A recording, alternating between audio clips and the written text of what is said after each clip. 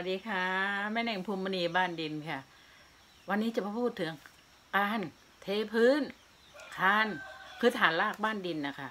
วันนี้ขอบคุณมิสเตอร์ Clayman นะ ภาพจากบ้านดินอำเภอสุวรรณภูมิค่ะ บ้านดินหนึ่งศูนย์หนึ่งค่ะกำลังอยู่ในขั้นตอนการเทพื้นเทคานปรับพื้นที่นะคะก็ขอบคุณก่อนอื่นขอบคุณเจ้าของบ้านค่ะขอเอา มาเผยแพร่เป็นวิทยาทานให้เพื่อนๆ คนรักบ้านดินนะคะ การเทพื้นเทคานสำคัญไหมสำคัญนะคะสำคัญที่แม่เน่งมีคลิปแล้วนะคะเคล็ดลับในการที่จะเทพื้น เพื่อที่จะไม่ให้ปลวก ไม่ให้ความชื้นไม่เป็นเชื้อรานะคะ อันนี้ก็จะสังเกตนะคะ ผลงานของมิสเตอร์ Clayman เขาก็จะวางก้อนอิฐแดงก้อนอิฐแดงไว้ก่อน เวลาเทคาน การเทคาน ทพื้นบ้านดินสำคัญมากสำคัญที่ตรงทำให้บ้านดินแข็งแรงไงคะ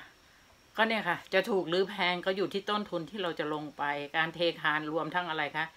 ไหนจะเหล็กไหนจะปูนค่ะจำเป็นค่ะจำเป็นต้องใช้ เพราะว่าเขาจะเสริมความแข็งแรงให้บ้าน คือมันจะได้อยู่นานค่ะ ป้องกันความชื้นด้วยอย่างเงี้ยค่ะอ๋อมิสเตอร์ Clayman เขาแนะนำนะคะ ว่าการเทพื้นเนี่ยควรจะเทรวดเดียวไปเลย หมายถึงว่า เทรวดเดียวไปทั้งพื้นและคาน พื้นและคานก็หมายถึงเวลาก่อบ้านขึ้นมา ก็จะมีส่วนบริเวณที่เป็นบ้านแล้วก็เป็นพื้น ก็อย่างน้อยก็การเทพื้นยื่นออกไปอีกประมาณหนึ่งเมตรก็เหมือนเป็นฟุตบาทอะค่ะยื่นออกไปอย่างเงี้ยค่ะชายคาตกลงมามี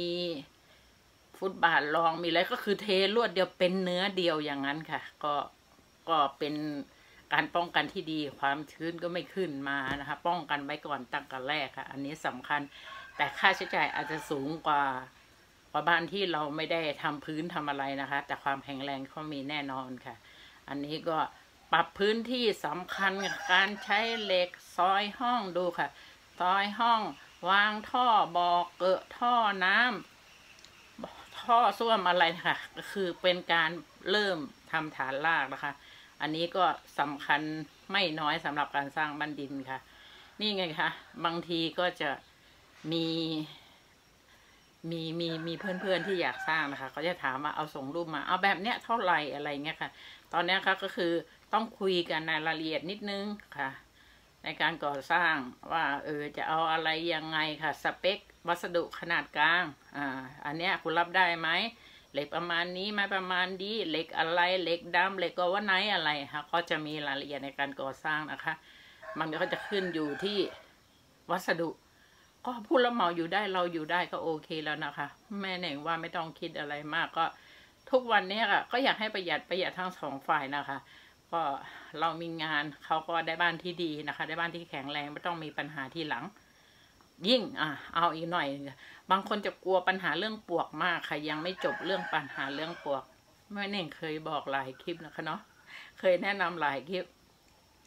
ปวกไม่ได้กินดินค่ะ ปวกไม่ได้กินดิน บางคนบอกว่าบ้านดินนะปวกจะกิน ไม่ใช่นะคะ ปวกเดินไปหาอาหาร โดยที่เป็นเนี่ยค่ะวงกบอ่าโดยที่เป็นวงกบไม้ เป็นไม้เป็นกระดาษเป็นอะไรเออมีหลายคลิปแล้วนะคะ อันนั้นแหละค่ะก็คือ ปวกจริง อันนั้นคือปัญหาปวก แต่ว่าบ้านไหนๆก็มีปวกนะคะ เราก็ต้องดูแลป้องกันไปนะคะ มีวิธีดูแลมากมายนะคะแม่เองก็มีคลิปเยอะนะคะอ๋ออ๋อก่อนอื่นขอบคุณพี่น้องสปป.ลาวค่ะเออเขาเป็น FC แม่เองนะคะ รองจากคนไทยดูก็คือมีสปป.ลาวค่ะ เขานะคะ inbox เขาบอกว่าที่บ้านเขาก็สร้างเหมือนกัน โดยที่เขาเอาเกลือแกงค่ะเกลือค่ะ เกลือไม่ได้ใหญ่โรยรอบบ้านเขาเขาบอกป้องกันปลวกได้ค่ะ เอาเป็นเคล็ดลับนะคะ ก็ลองดูนะคะ เพราะแม่เน่งก็มีคลิปทั้งทำขี้เหล็กทำอะไรก็ ลองหลายเทคนิคอีกอย่างคือต้องดูแลนะคะ ถ้าต้องดูแลทุกบ้านค่ะ บ้านดินบ้านหินบ้านปูนบ้านอะไรเงี้ยบ้านไม้ค่ะ ปวกมาทั้งนั้นละค่ะ ก็ต้องมีวิธีการดูแลไปนะคะ ปัญหาปวกแต่ที่แนะนำคลิปนี้ก็คือ ปัญหาเบื้องต้นที่เราควรจะทำค่ะ ก็คือควรจะดูแลค่ะก็โดยป้องกันโดยการฐานลากเทคานเทพื้นเทฟุตบาทนี่แหละค่ะ อันนี้ที่แนะนำนะคะค่ะ หวังว่าคลิปนี้คงจะเป็นประโยชน์นะคะ อย่าลืมกดไลค์กดแชร์ กดกระดิ่งกิ๊งเป็นกำลังใจให้มันเองคนบ้านดินภูมิมณีมาทำคลิปดีๆนำเสนอด้วยค่ะ คลิปนี้ไว้แค่นี้ก่อนค่ะ สวัสดีค่ะ